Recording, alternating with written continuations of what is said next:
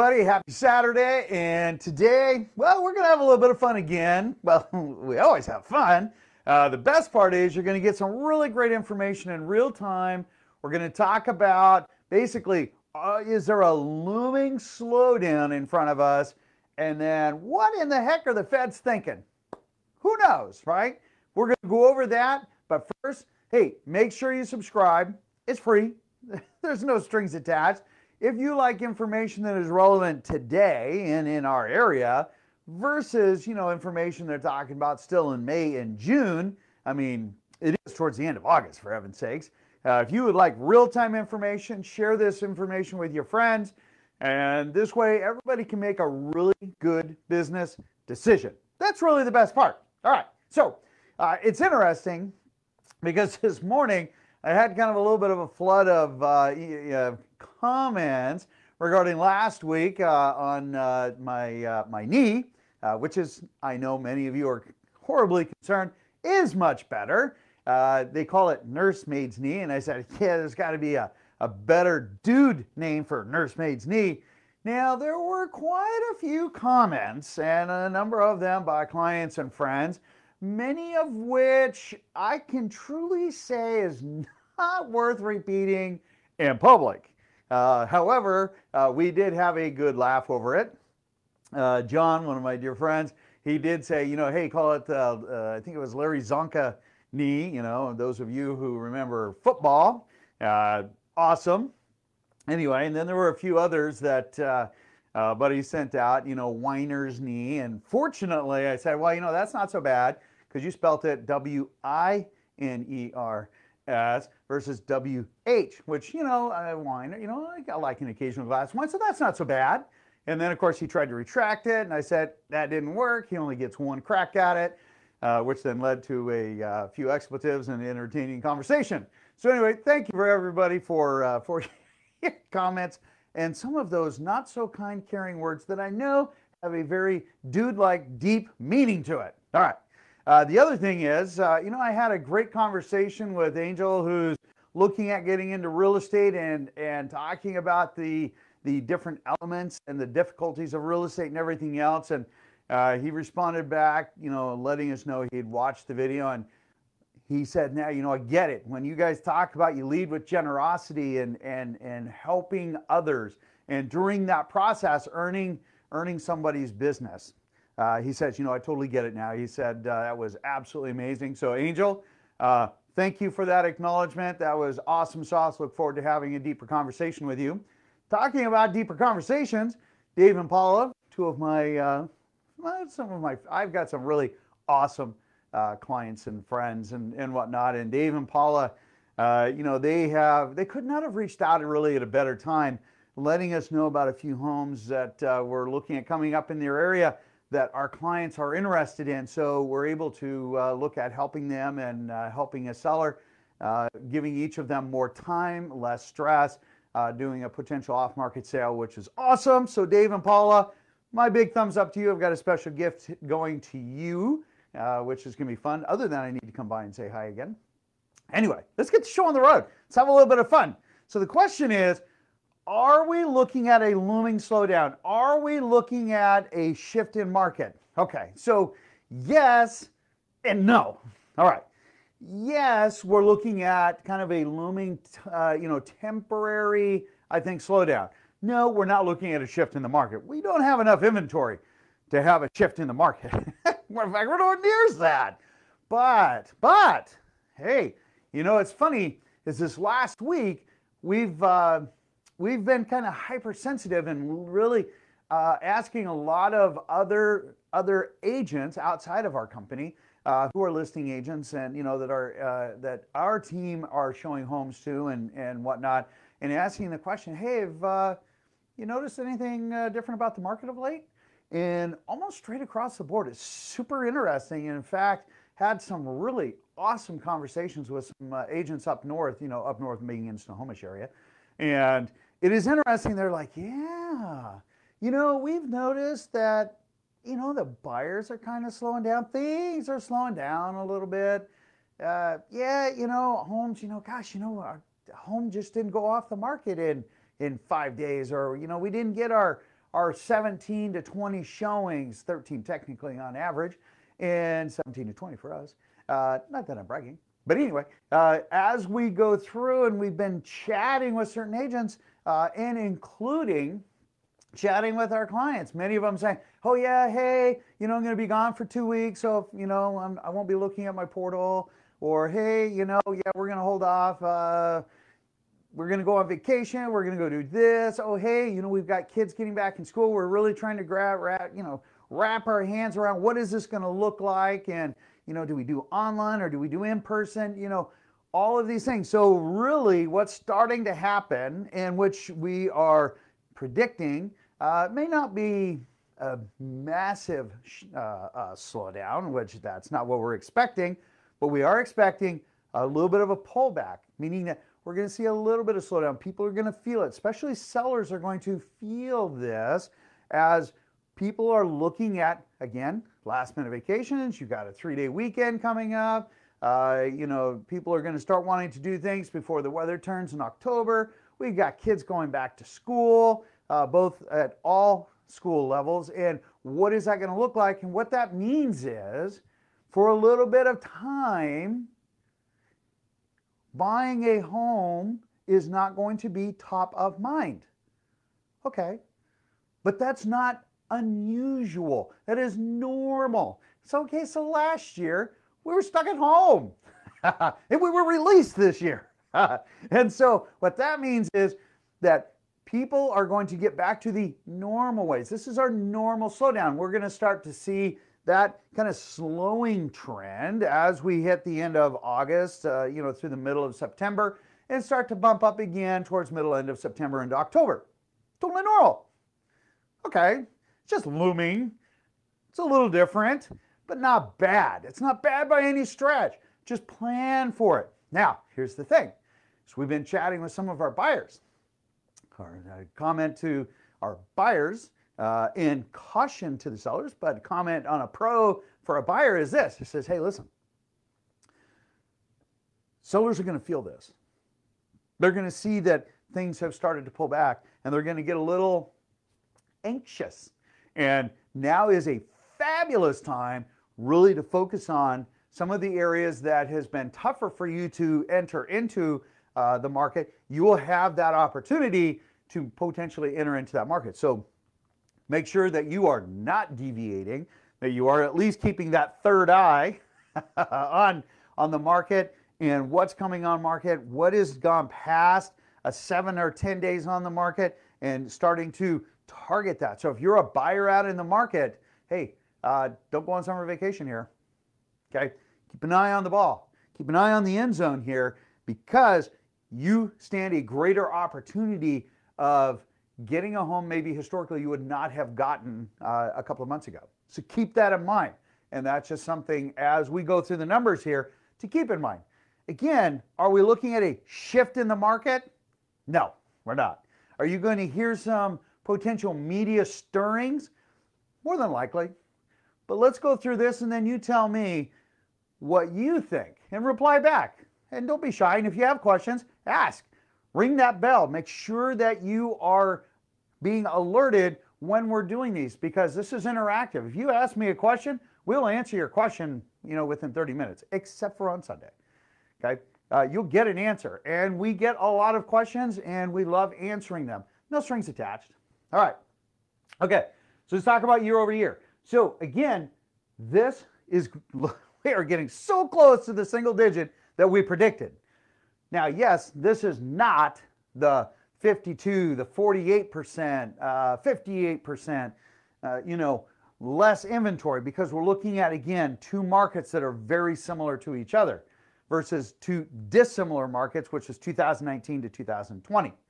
Now, look at these numbers. So new on market is uh, up 12.9%, pended are up 12.4. Again, every single week we are watching. Anytime we see a bump up in uh, in inventory, uh, you know, as far as new actives coming on market, ah, the pendings follow right behind it. When the when the new on uh, market start to uh, you know wane a little bit, hey, so do the pendings.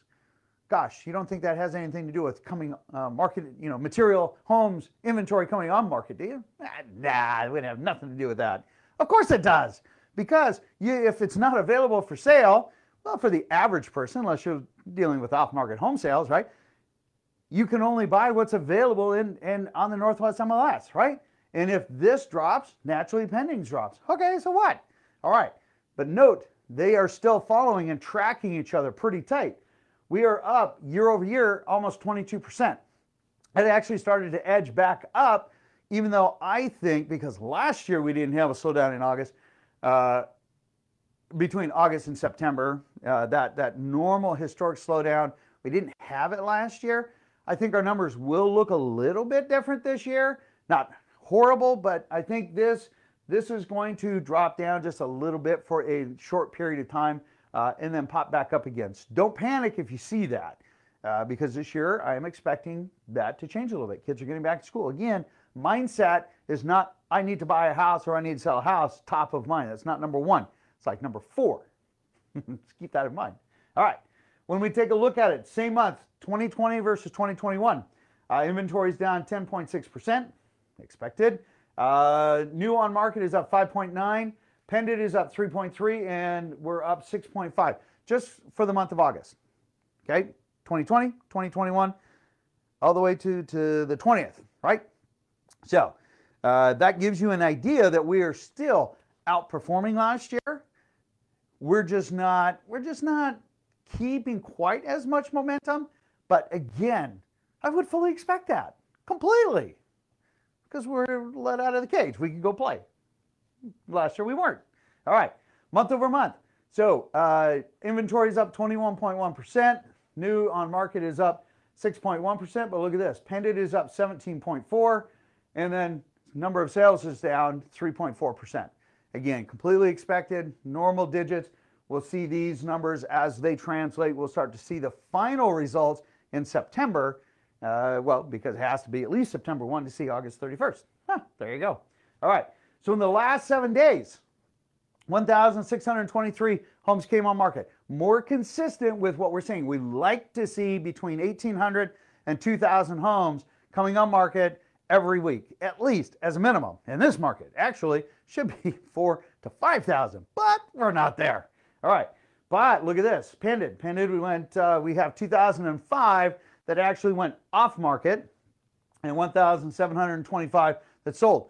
So it doesn't take a math, math genius to figure out that we are still drawing down. We're still taking more homes off market that is com- than, than, than is coming in the market, right? Okay, so if I had a great analogy, I would give it to you, but uh, right now I'm kind of drawing a blank because I can't use my sponge other than to say the sponge, uh, which is super dry, is still taking in more water than what's being poured into it. In other words, if you have that sponge on the counter and you know that if you pour water into it, and by the way, just sidebar, is hilarious. Uh, so I was actually out when I was uh, interviewing with uh, with a new client. They're like, "Hey George, I just want you to know, I listened to that that sponge story of yours, and uh, so my son was watching it, and I just want to let you know that my son said, "Dad, what does that mean?" And he said he jumped up, he jumped up, and he said, "Well, come on over to the sink, I'll show you." And so he took that dry sponge that had been, you know, drying all night, and he put it there. He said, "This is a dry sponge." And you know, he says, now look, he says, you put it in a plate. He said, I didn't want to put it on the counter because I didn't want water all over the place. So he said, I turned on the faucet a little bit and I poured a little bit of water in there. And I said, see, son, see how there's no water around it? He's like, yeah, well, that's what he's talking about, that this is the housing inventory and the sponge is just soaking it up. He's like, yeah. And he says, when we get to a balance market, he says, hang on. He said, now look, you see now how we're getting just a little bit of water on the outside? He said he shut off the water. He said, yeah, that's a balanced market. So it's full and we have a little bit around the, the edge of that sponge. He's like, oh, okay. And he said, now look. And he, he said he ripped that faucet off and it flooded the sponge. He says, no, that's too much inventory. And he's like, yeah. And he said, shut it off. And he says, yeah, he squeezed it. And he says, now we're back to too little inventory. And the son said, Dad, that's pretty smart. You got that. I thought that was awesome. Anyway, so there you go. So the sponge is still soaking in that water. We do not have a surplus of inventory. We're down to 10 days. That is super important to understand. We do not have enough inventory. So if you're on the fence, even though we're we're heading into a slightly slower time, okay? Pricing is everything. Remember, sellers, pay attention. It's super important. Okay. There are three reasons a home doesn't sell. Price, location, and condition or floor plan. Okay? And price fixes it every time.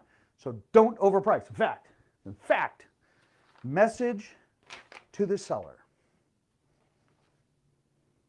Mr. and Mrs. Seller, we have a limited inventory. We have 10 days. We should have four to six months of inventory. We have 10 days. Here's what is super important for you to understand.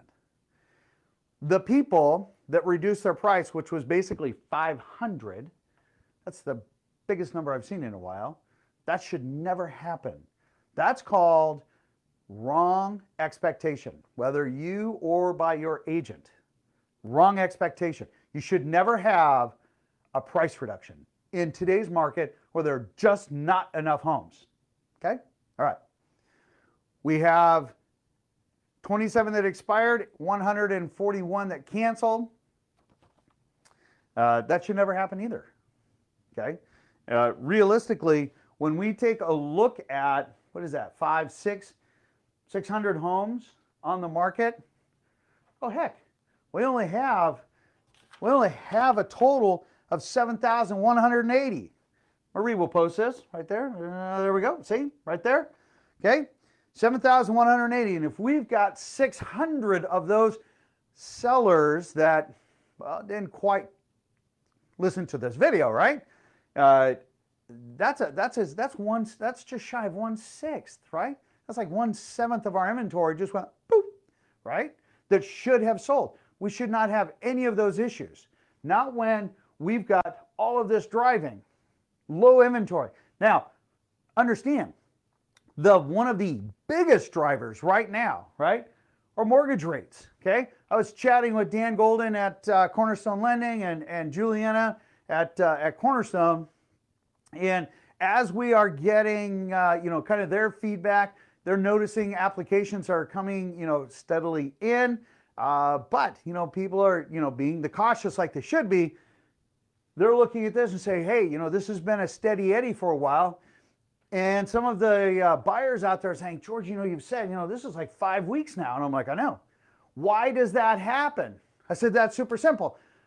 In the beginning, I said, what are the feds thinking, right? Okay, so the feds take a look at the big picture. They have nothing to do with, technically, with setting the mortgage rates because mortgage rates are based on bond rates, 10 year treasury.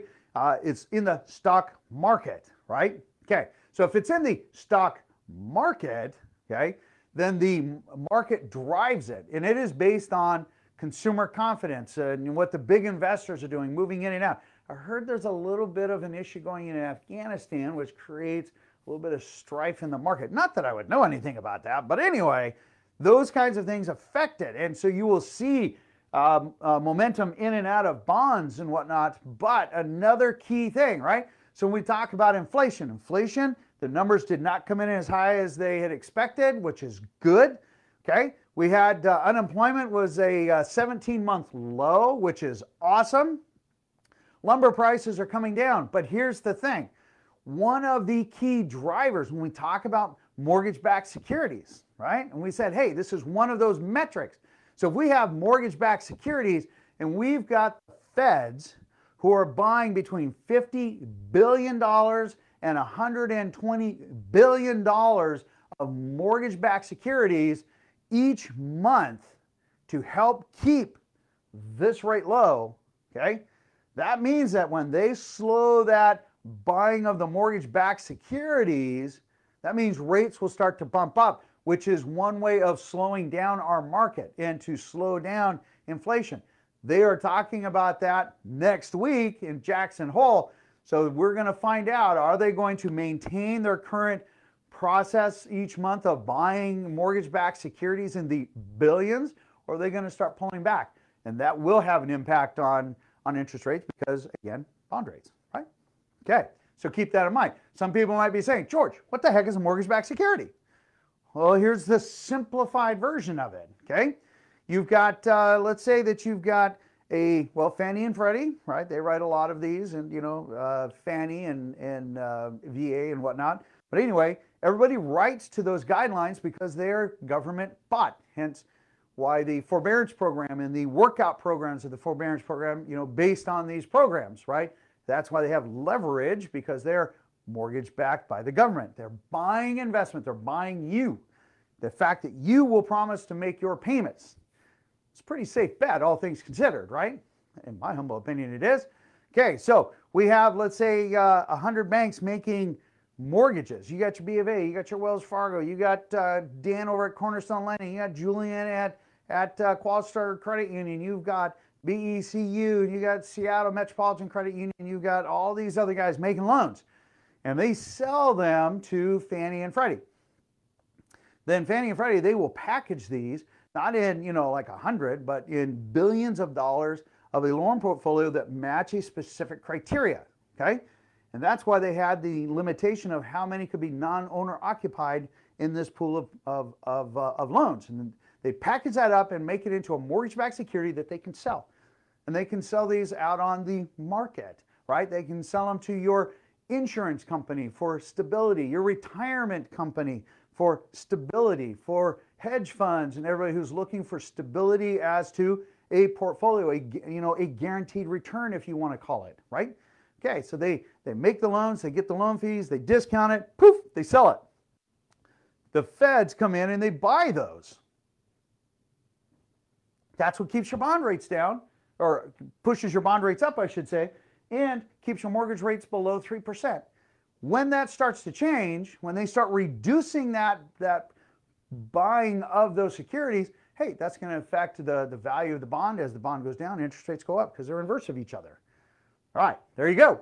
Now you have some really great information. So with that, if you have any questions, send them out to us. Post them. Absolutely love to hear from you guys. Uh, we will respond to you uh, within 30 minutes, except for, well, on Sundays. Uh, with that, Angel, thank you again for an absolutely fabulous conversation. And uh, again, uh, Dave and Paula, you guys are awesome. You guys rock. Uh, in the meantime, have an absolutely fabulous Cooler Saturday. And uh, I will catch you guys on the next video. Remember to subscribe. Remember to hit the bell and share this with somebody uh, so they can get some real-time information. In the meantime, you guys have a beautiful day. I'll see you on the next video. Take care.